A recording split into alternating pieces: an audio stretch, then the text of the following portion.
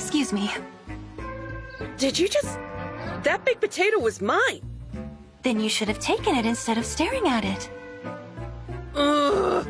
This is just the kind of thing I'd expect an Orlesian to do. Only when there are Fereldans in the way.